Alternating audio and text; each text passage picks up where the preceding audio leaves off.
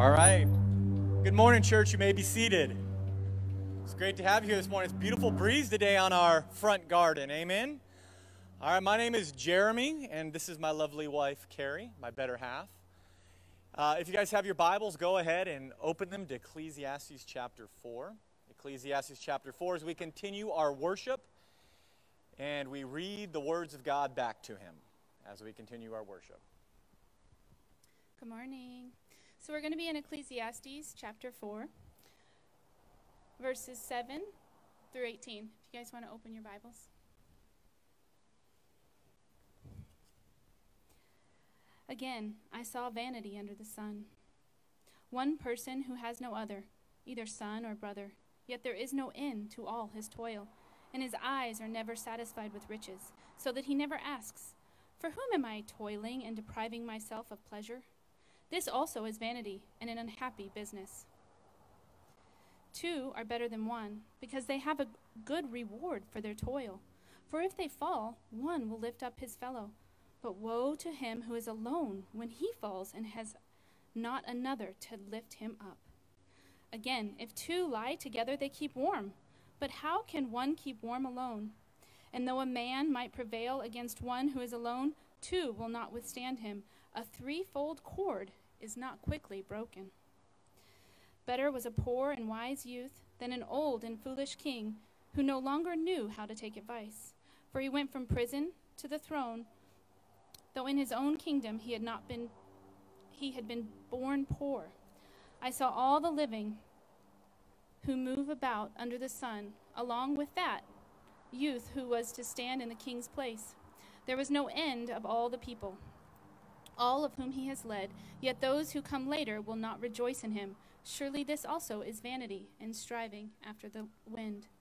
This is the word of the Lord.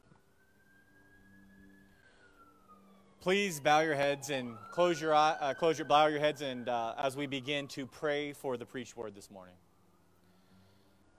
Dear mighty God, great Elohim, creator of all things, help us to see this morning that your word stands true. It stood true with the time of Solomon, and it still preaches true today. Let us see that two things are always connected unity and holiness. Lord, let us see that they are not separated, but Lord, let us unite, but you let us also maintain a form of holiness as we move forward. Let us see that there are many things in this world that will distract us, many things in this world that will desire our attention, many things in this world will pull us to them. But Lord, let us stand holy. Let us stand separate. Let us pull back towards you. Let us unite around you in your holy ways. Lord, help us to reach out and love others. But Lord, let us also remember that you are King of kings and Lord of lords. It is you who created all things, and it is you who we must give all the honor and the glory to. Lord, prepare our hearts this morning, fashion them so that way we can hear your words, and Lord, we will apply them to our lives. Help us to have ears to hear and not just to listen. Let, let us, Lord, to truly understand what you're telling us to do in this text. And Lord, help us to apply it to the way we live daily. Help us to make this a part of, of who we are in you. Let it be in you, Lord, that we gain our identity not in anything else. We thank you, dear Jesus. We praise these things in your blessed and most holy name. We all say, Amen. Amen. If you have your Bibles, you can turn to Ecclesiastes chapter 4. After taking uh, a few weeks off, we are back in the book of Ecclesiastes. Actually, we were back there last week as well, and um, I'm excited to be back here. It is a book that I have really fallen in love with. Uh, I've been learning so much from it as I've been uh, reading um, scripture and preparing and other books and commentaries and things like that.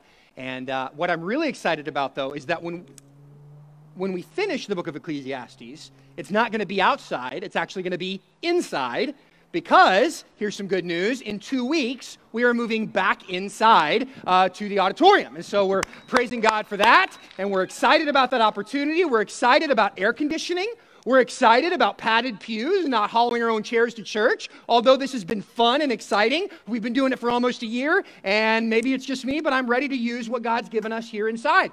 And so thankfully, we're able to be at 50% capacity inside with not a whole lot of other restrictions. And so, what we're going to do to make sure everybody feels safe, uh, we are going to have a, a, lot of deep cleaning happening. Um, in fact, we're going to have, uh, we're asking for volunteers. Uh, if you want to be inside, then uh, I would encourage you to make every effort that you can. Obviously, we understand work uh, doesn't allow everyone to do this, but if it, it do, if perhaps it does, this Wednesday, uh, starting at about 10 a.m., we're going to be having a big work day right inside here, doing lots of different cleaning. Wednesday at 10 a.m. here at the church, and if you're able to come, we're going to be uh, just doing as much as we can to get ready for that in two weeks. So exactly two weeks from today, we're going to be doing some cleaning this week. We're going to be some doing doing some cleaning uh, the following week.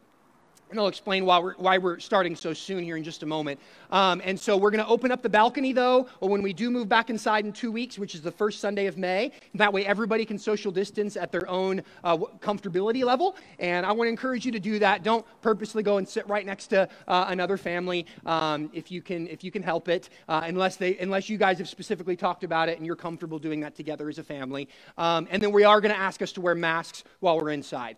And so hopefully that even those kind of restrictions are not going to last uh, for very long. Uh, according to some of the things I'm hearing from our state government, it seems that sometime near the first or middle of June, we should have just about all requirements uh, for, for COVID, all restrictions lifted.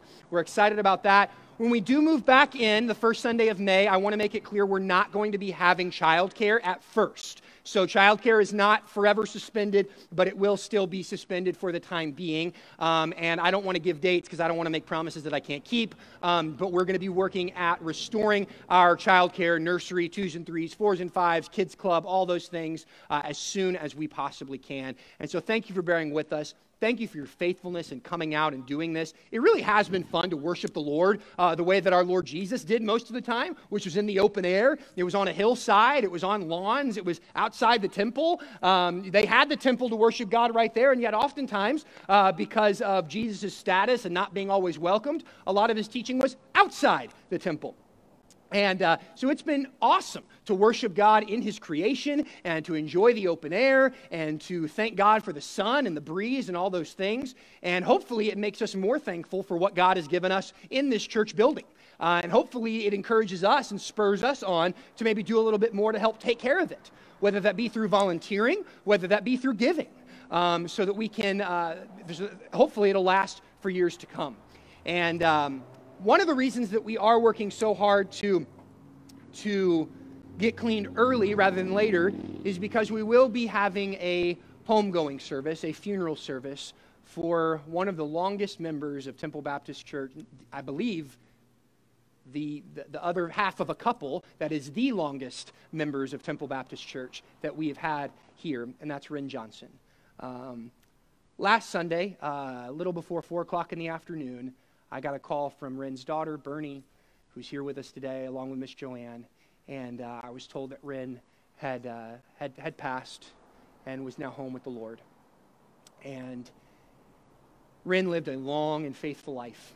Um, he lived 90 years on this earth. He taught a Sunday school class, I believe, for over 50, over 60 years. Is that right? Over 60 years, he taught a Sunday school class here and poured into people. He studied God's word faithfully. He encouraged others. Uh, there are so many things that, that were behind the scenes that we will never know about that he did to support it. Um, our, our auditorium is rightfully named after him and our, our former senior pastor, Pastor John Lyle, who pastored here for 33 years. That's the, the, the Lyle Johnson Auditorium right there. And uh, he went home to be with the Lord. And I am I'm thankful that he's not suffering anymore. I'm thankful that he's not enduring the pains of cancer or of pneumonia anymore. Uh, I'm thankful that that strong body doesn't have to lie weak in a hospital bed anymore, that he doesn't have to worry about falling anymore. I'm thankful for those things, and yet at the same time, my heart hurts and I'm grieving because we've lost a friend. We've lost somebody that is a father and a grandfather to many uh, in this church and even beyond this church. And so, would you please be praying for the Johnson family? Pray, pray spe- uh, specifically for Joanne Johnson. And then his funeral uh, is going to be here at the church inside um, Monday, April 26th at, I don't have the time memorized. I believe it's 11 a.m. 11:30 a.m. So 11:30 a.m. will be the funeral service inside here Monday, April 26th, and that's another reason we uh, we, we want to get the place looking good as we as we celebrate Ren's life and as we grieve his passing. Um, and so. But now we are going to jump into God's Word, Ecclesiastes chapter 4. And as we do that, as you're turning there, uh, I want to. Um, I want to talk about something, kind of have a little bit of a family meeting for a moment with our church family. One of the healthiest things that we can learn to do as a church family, or as an individual, is to critically evaluate ourselves. Yeah, you could call this being self. You could call this being self-aware. Um, knowing your strengths, knowing your weaknesses. That's a healthy thing to know, right? Uh, that's why people often ask it in a job interview. What are your three greatest strengths? What are your three greatest weaknesses? Uh, I think this is helpful to do personally, and I think this is healthy to do corporately as a church. So, personally, let me give you an example. I don't think I'm a bad public speaker. Um, I know how to get people's attention most of the time. I think I can sing okay. Um, at the same time, I know that I have a lot of improvement I can do when it comes to my speaking, and yet and, and, and, I also know that I'm never going to make it on American Idol, okay? I'm never going to see my name in lights uh, singing, you know, at the Grand Ole Opry or something like that. And when it comes to athletic ability or working on cars, this may come as a shock, but those things are weaknesses of mine. I know that I am weak in those areas, and trying to pretend otherwise would be at best embarrassing and at worst dangerous. You do not want me working on your car. So, when it comes to our church, then, let's talk about this corporately. When it comes to our church, I think one of our strengths at Temple Baptist Church is in the biblical knowledge and unity of many within our church, especially those in leadership in our church. I talk to pastors of other churches all the time who have, who have to work with a leadership team that's in place because they give a lot of money to the church. That's why they've been placed in leadership. Or because they're powerful influencers and they've been around for a long time. And that's why they've been given authority in the church. And when that's the reason that people are put into authority, it causes all kinds of issues. And these pastors run into these issues with that kind of leadership. But I have been so incredibly grateful. We have had our share of struggles over the last three plus years that I've been the pastor and over the last nine plus years that I've been a part of this church. And yet, our elder board has not been one of those issues. I am so incredibly grateful for the men that God has allowed me to serve with. Our elder board here, though, it's in place not because of how much money they have, because none of them have much. They're not in place because of how powerful they may or may not be. Our elder board here is in place because of their passionate love for the Lord, because of their passionate love for His Word, um, because they make decisions according to the Word rather than according to their own egos, which is a huge problem in many churches. And that has led to great unity on our leadership team. Um, I'm not saying we agree on every single thing, but our leadership team meetings that we have twice a month, they have never been defined, at least in my three years of being the pastor here, by, by, by fighting and arguing and, and passive aggressiveness. That just has not been the case. And it's been awesome. I love our leadership team here. So that's a strength of our church. But an area where I, I think our church struggles and an area that your other pastors and I have spent quite a bit of time grieving over and praying about is in the area of community. Community. Because here's the deal God created his people, he created the people in his image for community. I mean, you can see this going all the way back to creation in Genesis 1. God makes everything perfect. And at the end of each day, what does he say? It's good. That's good. He reveled in what he created. And then he creates Adam. He creates the first man, the crowning jewel of his creation, places him in the garden, sets him in this beautiful, good place that he created. But he says something that is stunning that he has not said yet after he creates Adam. In Genesis chapter 2 and verse 18, God says, It is not good for man for Adam to be alone. He needs a companion, he needs someone to share his life with. He needs a partner, he needs a helpmeet, he needs a wife, he needs a friend. And the reason we're wired for community is because we're the only part of creation that God created in his own image. See, God exists eternally in perfect community. God is a community, right? In the Godhead, you have God the Father, God the Son, God the Holy Spirit, all wrapped up in one. And we're not going to try to explain how all that works today because honestly, I don't think I could. I know I couldn't. But God exists in perfect community. God did not create man because he needed a companion. God, had all, God has all that he needs contained within himself, within the divine, holy Godhead. The Father, the Son, and the Holy Spirit love each other perfectly. They care for each other perfectly. They are friends in a perfect way. God is a relational creature. But then what happens is Adam and Eve, they sin. Adam and Eve sin. And when they sin, they're separated from God and they're separated from each other. And this is what sin does to us, right? It separates people, it separates friends. It comes between spouses, it comes between parents and children, men and women. And we live in a culture where it's becoming increasingly hard for us to build community with other human beings. And technology isn't helping us, is it? I mean, the more plugged into technology we get, the less connected we become in personal relationships. A husband and wife will go to dinner, or I, I see it a lot with people taking their children to dinner. I'm talking about older children, middle school, high school age kids. Mom, dad, all the kids, they've all got their phones, their tablets out. They're not talking to each other. If they need something, they'll text each other from across the table. They'll comment on each other's Instagram posts about their awesome food and their amazing date night that they didn't spend actually talking to one another. And it's led to people having split personalities. Like there's me, right? And then there's social media me, right? There's me, and then there's Instagram me. There's online Jane, and there's offline Jane. Online Jane is funny. Online Jane is joyful. Online Jane takes the perfect pictures because she loves Jesus and she's got her perfect coffee cup that has her favorite Bible verse on it right there, open to her uh, to Proverbs 31, for example. And it's got the perfect sunrise happening in the background. And she's got her little cross on the wall that, and then a little sign that says live, laugh, love next to it. And it's great, right? She's Instagram spiritual. She quotes Bible verses on her Instagram. She, she brags about her husband and kids and takes pictures of the glamorous food she makes and the great places she visits. And everybody wants to be the kind of mom and the wife and the woman that Jane is on Instagram. Offline Jane, she's a little different.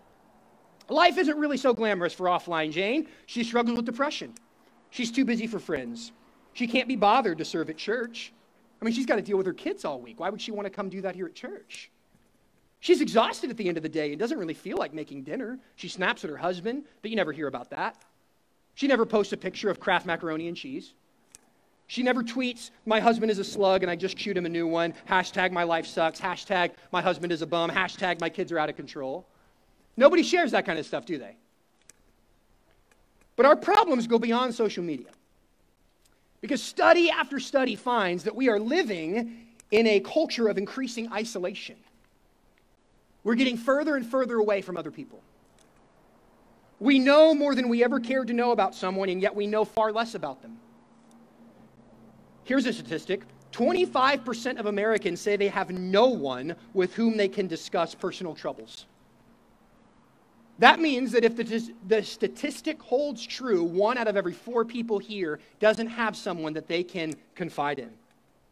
That's double the number from 20 years ago. The most famous study comes from a man by the name of Robert Putnam, and he's a sociologist at Harvard University. And he wrote this book called Bowling Alone. And he argues that a culture is held together by something he, he, he terms social capital. Social capital. And social capital comes from networks of people who care for each other in tangible ways, ways that you can see and feel and touch.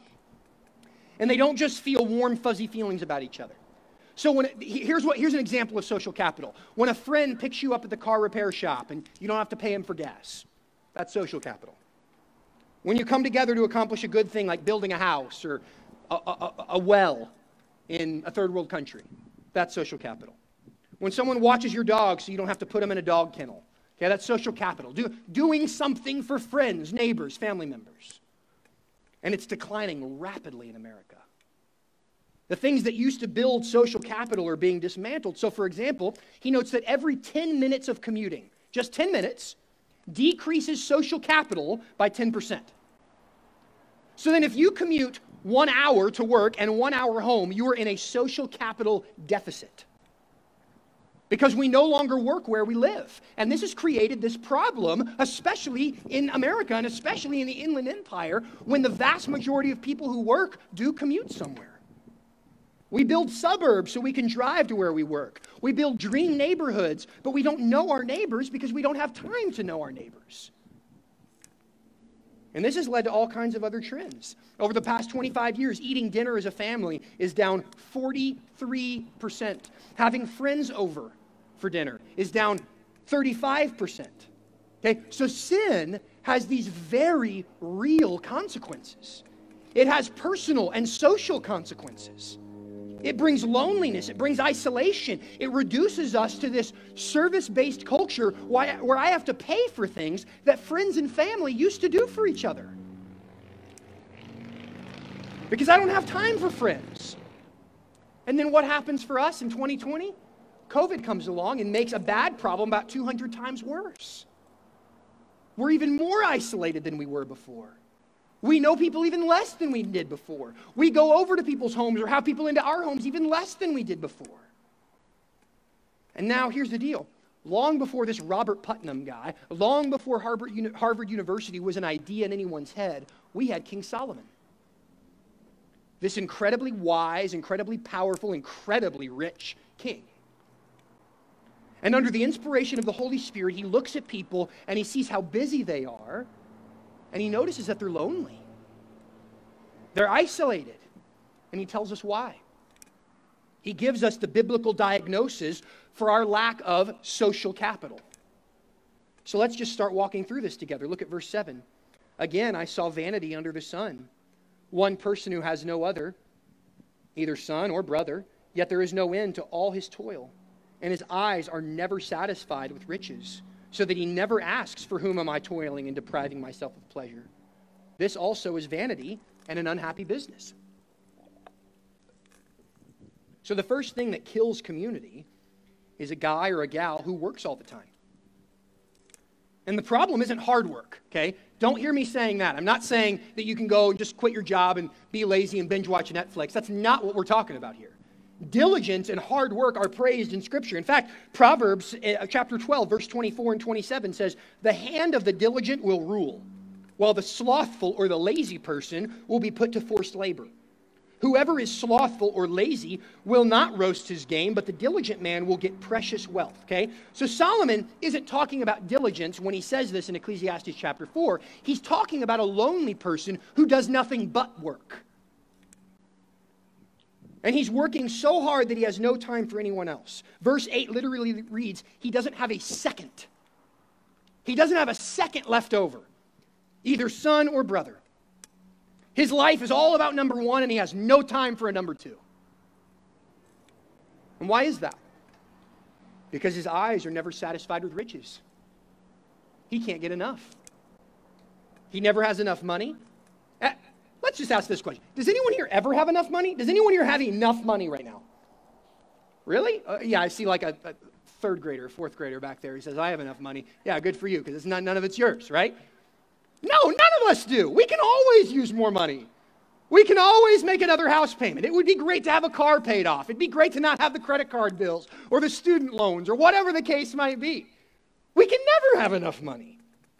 You never do. I don't. If you do, man, please let me know. And after the service, I'm happy to take a check. We always want just a little bit more, don't we? Now, if you could go back to a time when this person wasn't working like crazy, the person, this theoretical person that Solomon's talking about, if you could go back to a time when this person wasn't working like crazy and you could say, okay, so you're about to start a new job and it's going to pay well. Why do you want to have this job? What will motivate you to work hard? He'd probably say something like, Well, because I want to have money to enjoy life. I want to be able to afford things my parents couldn't afford. I want to be able to give my kids things that I never had. How many of you have ever had thoughts like that or said things like that? I have. I want to give your kids things that you never had. I want to be able to take nice trips and buy nice things. But now, fast forward, and here we are, and this person is working like crazy, and they realize that while they may have a lot of money, they don't have a lot of friends. They don't know their own children. They don't have a connection with the very people who should naturally be close to them. Sons and brothers is the example that Solomon uses. They might be divorced. And so they look back and they think, why am I doing this? What was the point of this? Who is all of this for? Why am I not enjoying it more than this? And how many, let's just use an example. How many people do you know that have a boat but never use it? Yeah, you all know somebody that's got a boat that doesn't use it. They don't have time to enjoy it. Or who have a hobby but they don't have time to enjoy it. Who have children or grandchildren but are too busy making money to play with them or build a relationship with them. So you see what's happened? The very things and the very people that were supposed to benefit from your work can actually become casualties of your work. This person is alone, no friends, no family. Why? Because of his work. And I see people who do this all the time. Heck, I, have done this. This is me. We convince ourselves that we're working hard for our families and our friends, and at the same time, we're being seduced by ambition and riches to neglect our family and our friends, right? This is so typically human. We take a good thing and we turn it into an ultimate thing. We turn it into an idol. We turn it into a deliverer. We turn it into a pseudo savior. We attach ultimate significance to it. We worship this good thing, and it turns back and betrays us, and it never saves us. And so Solomon here is redefining what it means to be wealthy. And he says that the goal of wealth is to enjoy life and glorify God. The goal of wealth is not money. Money is a means to an end, money is not the end. That's worth repeating. Money is a means to an end, money is not the end. Mo- and here's the deal money is not evil. People like to say that money is the root of all evil, and they think they're quoting the Bible. That's not what the Bible says. The love of money is the root of all evil. So, the idea that Solomon's trying to get across to us is that we don't live to work, we work in order to live. But if we're not living, then what's the point? See, if you define wealth as money, you're going to kill yourself. But a, wor- a, a wealthy person, biblically speaking, is not the one with the most money, it's the one who knows how to live as God intended. It's the one who can enjoy the life that God has given him. Proverbs chapter 15, verse 17. Better is a dinner of herbs, basically, better is a salad where love is, than a fattened ox, than a, than a prime rib, than a, than a bone in ribeye steak from Fleming Steakhouse. And hatred with it. Better is a cheap salad where love is than a ribeye steak and hatred with it. See, wealth is not defined by what's served on the table, wealth is defined by what's sitting around the table. The wealthy guy is the one who enjoys sitting down with his family for dinner. They like each other. They laugh. They eat. They pray. They live. We think our kids need nice food and nicer clothes and name brand things, but they don't. They don't need the steak. What they need is the love and the relationship and the laughter. It's amazing when I talk to especially older people that grew up in a totally different era than I did. And they talk about, I mean, I, I used to have a pastor that grew up and in, uh, in, in, the Midwest, and their family was so poor that he literally, they had dirt floors and no indoor plumbing in their house. I didn't know that was a thing in the last hundred years, but it is. There were people that really lived that way. If you talk to Marvin, uh, he'll tell you people on the Navajo reservation who still live that way. And yet, I've never met someone who grew up in a setting like that who knew they were poor unless their parents specifically talked about it all the time. I've never met any kid who hated their dad or their mom because they made them drive around in some beat up old car and didn't buy them a brand new car for their 16th birthday. Never met somebody angry at dad for that. But I've met plenty of kids who've driven $40,000 BMWs who were totally screwed up because their dad thought they could buy a relationship with them. It's not possible.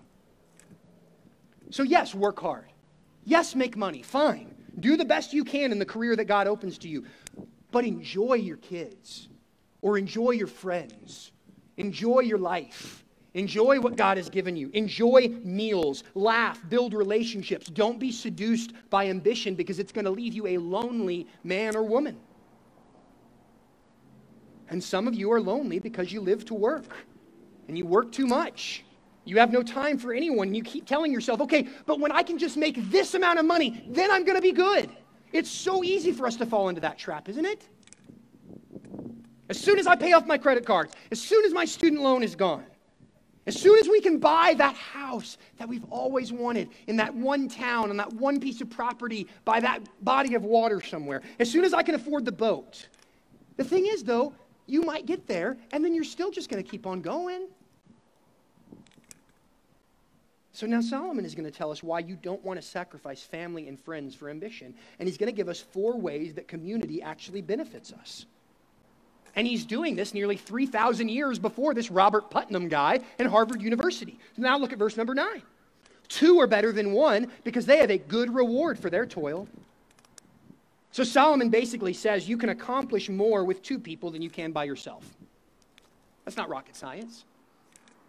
When two people labor beside each other, there is a good reward. That just makes sense.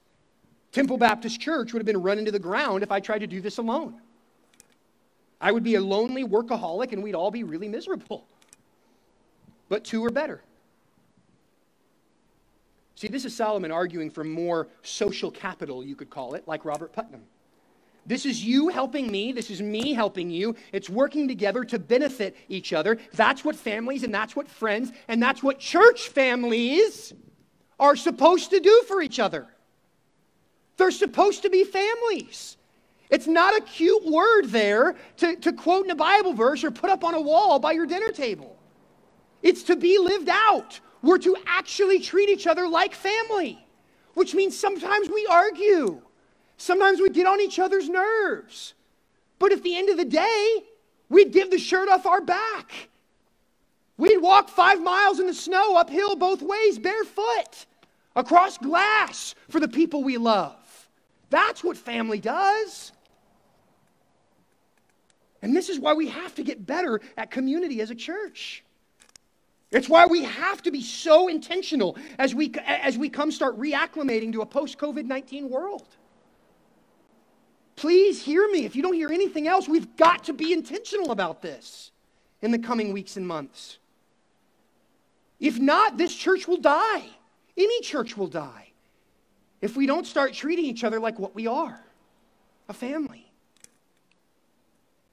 We've got to work hard to invest in one another. We've got to work hard at building relationships with one another. We've got to get back to classes and community groups. And, it, and, and to do that is not just about sitting on couches and sipping on coffee. It's not about just passing out connection cards. It's about those times when you go, hey, I'm, it's, it's about those times when you say, hey, I'm, I'm moving, can anyone help? And 15 people show up, and a two day job turns into a two hour job with laughter and pizza and conversation. It's about those kinds of things. Read verse 10 with me. For if they fall, one will lift up his fellow. But woe to him who is alone when he falls and has not another to lift him up. Is anyone out here not a sinner? You're not a sinner? No hands? Okay, good. That's what falling is that Solomon's talking about. So, what do you do when you fall?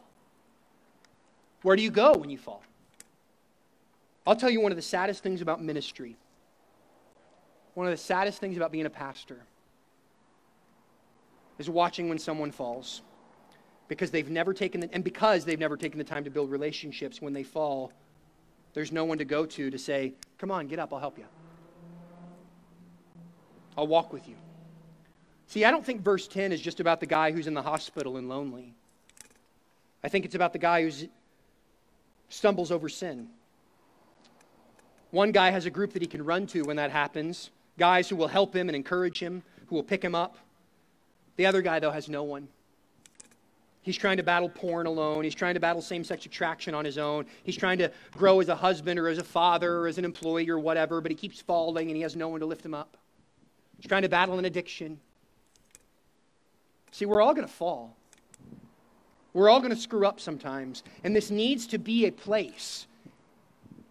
And don't crucify me for this, but it needs to be a safe place. I know that's a buzzword, and people talk about it for college students that get a bad grade, and this isn't a safe place for me to not study. Um, no, but in all reality, this needs to be a safe place for believers. For people who struggle and who fall and who fail, because we're all these people. But here's the deal when we have a family that's gathered around to support us and help us, the idea is that we don't stay that way. So the old adage, come as you are, we want that to be the signpost here at Temple Baptist Church. But we don't want people to stay that way. But if we don't learn how to become a family and love one another and lift one another up and support one another, then that's exactly what's going to happen.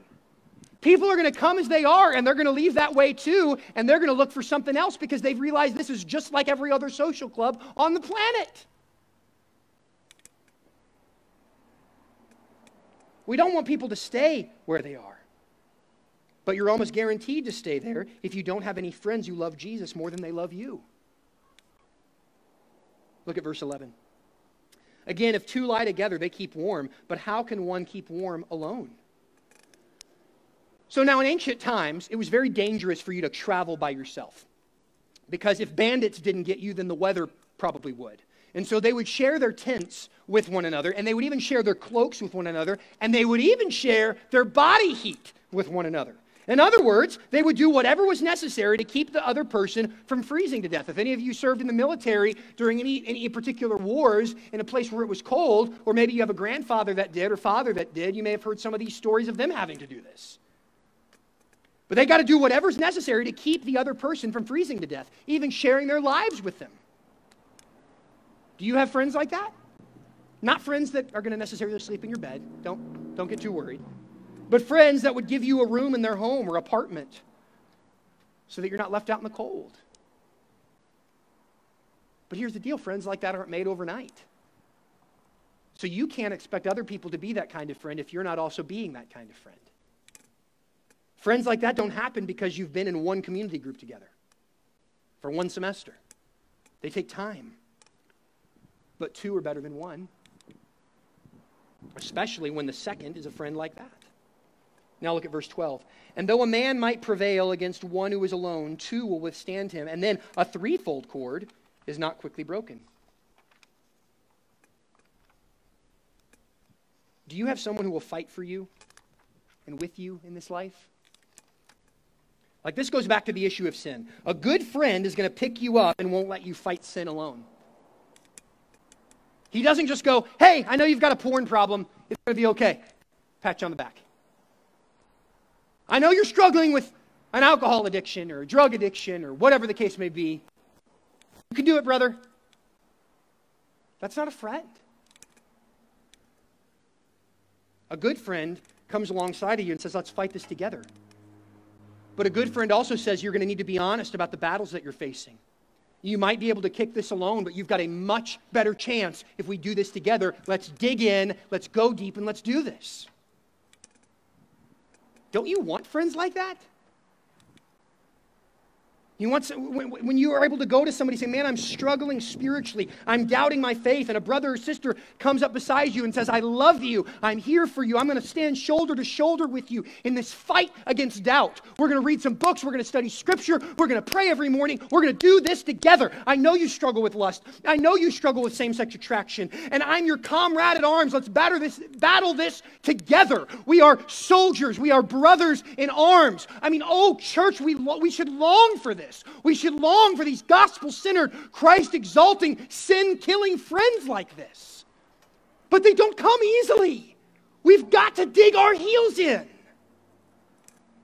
And just in case you think this is about just having one friend, Solomon says, no, no, no. A threefold cord is not quickly broken. If two is good, three is better. Friends like this are a massive gift from God, and you should be ready to take as many of those friends as God will provide you. Let's finish up this chapter, verse 13. Better was a poor and wise youth than an old and foolish king who no longer knew how to take advice. For he went from prison to throne, though in his own kingdom he had been born poor. I saw all the living who move about under the sun, along with that youth who was to stand in the king's place. There was no end of all the people, all of whom he led, yet those who come later will not rejoice in him. Surely this also is vanity and a striving after wind. So here's what Solomon's doing. The person in verses 7 through 8 devoted his life to work. threw everything he had into his work, and then he lost his companionship. He was left solitary and alone because of his choices. And now we have this old, foolish king who will no longer take advice. He fired all those closest to him. He doesn't need anyone else. He made the decision to go it alone, and the end is the same. He is all alone. So here's a guy who went from prison to palace, and he's stupid enough to think he did it on his own. He failed to see how companionship and community were the instruments of his success. He didn't become king because he was a genius.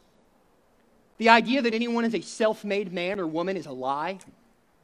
There are all kinds of people along the way who helped you get where you are today. You had friends and counselors and spouses and children who propped you up on your way. You had teachers and coaches and friends and neighbors, mailmen, government officials, whoever. And now this king looks down on all of them and thinks, I'm a self made man. But look what happens in the cycle of history. Old rulers become unpopular rulers. Because here's what people do we look at our lonely, empty lives and we react one of two ways. We either blame something inside of us, our own heart, or outside of us, we blame our leaders. And how many Christians fall into this trap every election cycle, right? That the source of our problems, the source of our unhappiness, the source of the fact that America is going to hell in a handbasket is because of who sits in a White House 3,000 miles away? Seriously? You think that guy is in charge, is responsible for all of our problems and all of our issues?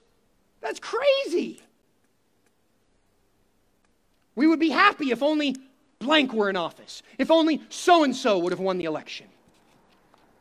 If only the young, popular, hip, cool candidate was ruling this nation. But nothing is new under the sun. Solomon had seen it all before. And Solomon says people are upset with their lonely, isolated lives, and they blame their leaders, and they say things like, out with the old and in with the new. We need something radical. And then the new guy takes office and he becomes the old guy, and everyone wants another new guy. That's what Solomon is looking at. He'll be popular as long as people are happy. And since a politician can't make people happy, someone is always waiting in the wings who will promise the same thing to a new generation, and that new generation is going to take the bait just like the last one did. And this has application for us, church. You hate your job, and so you blame your boss, don't you? We love to do that. It's really easy. He's got an easy target on his back. The guy who sits in the highest chair is real easy to see and look at.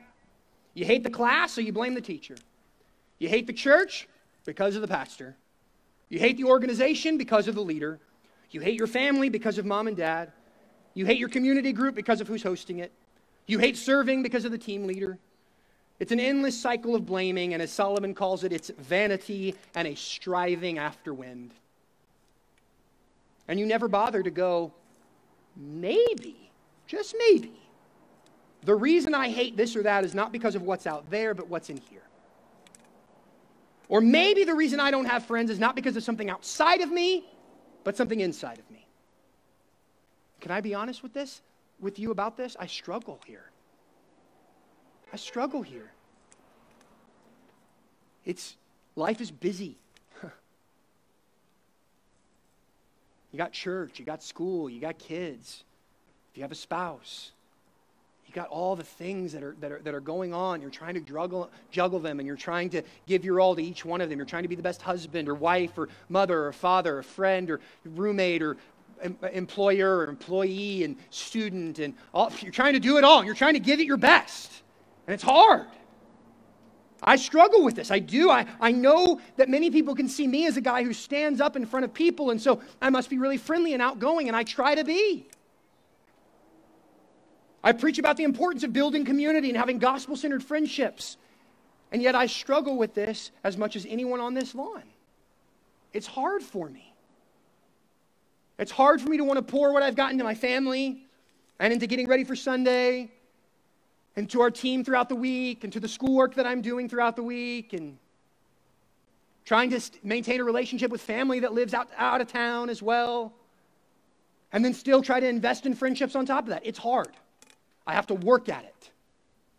But the thing that I've learned is when I do it, it's so worth it.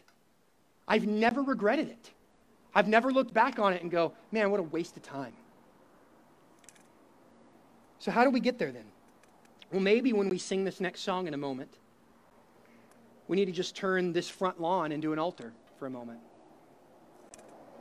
Maybe we need to confess the fact that we've treated the church as more of a place to come, feel better about ourselves, check off our Christian duty checkbox list, rather than treating it like a family that we will lean into and love and sacrifice for and help others and get this, accept help from others. Maybe we have people come to the front this morning, just right here. Maybe we have people come to the front this morning and just pray together and confess sin together. Maybe we commit to inviting someone out to lunch today after the service. Or maybe you find somebody today that you can invite to come out next week if that's too last minute. Maybe we commit to serving the church as we prepare to move indoors. I'm telling you, there are a few things that build relationships better than serving the Lord with others shoulder to shoulder.